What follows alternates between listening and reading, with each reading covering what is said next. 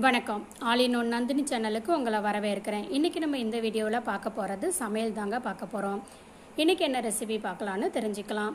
யாரும் சமைக்கலாம்? ஒன்பது. இன்றைக்கி நம்ம பார்க்க போகிறது கீரை மசியல் தாங்க. ரொம்ப ஹெல்த்தியானது உடலுக்கு ஆரோக்கியத்தை அதிகமாக தரக்கூடியது அப்படின்னு சொல்லலாம். ஒரே வகையாக சாப்பிட்றத விட இந்த மாதிரி வித்தியாச வித்தியாசமாக சாப்பிட்டா கீரையை விரும்பி சாப்பிடுவோம். கீரை மசியல் செய்யறதுக்கு தேவையான பொருட்கள் ஒன்று அரைக்கீரை ஒரு கட்டு. இரண்டு சின்ன வெங்காயம் ஐந்து. மூன்று பச்சை மிளகாய் ஒன்று. நான்கு பூண்டு ஐந்து பல்லு. ஐந்து சீரகம் அரை ஸ்பூன்.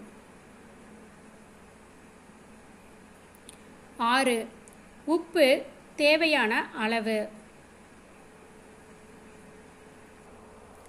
கீரை மசியல் செய்முறை.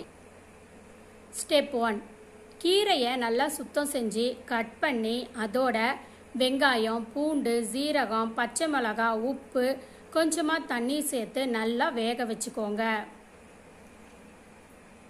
ஸ்டெப் டூ அது நல்லா ஆறுனதுக்கப்புறம் பார்த்தீங்க அப்படின்னா நல்லா மசிச்சிடுங்க. மசிச்சுட்டு நீங்கள் சூ சூடான சாதத்தில் இதை போட்டு சாப்பிடலாங்க. ரொம்பவுமே டேஸ்ட்டாக இருக்கும். ரொம்ப உடம்புக்கு ஆரோக்கியமாகவும் இருக்குங்க. கீரை அப்படிங்கிறது இந்த கீரை மட்டும் இல்லைங்க. நீங்கள் எந்த கீரை வேணாலும் பயன்படுத்திக்கலாம். எந்த கீரையுமே இதே மெத்தடில் நீங்கள் சமைச்சு சாப்பிடலாம். அது ரொம்ப வந்து ஹெல்த்தியாக இருக்கும். அதே சமயத்தில் ரொம்ப டேஸ்ட்டாகவும் இருக்கும்.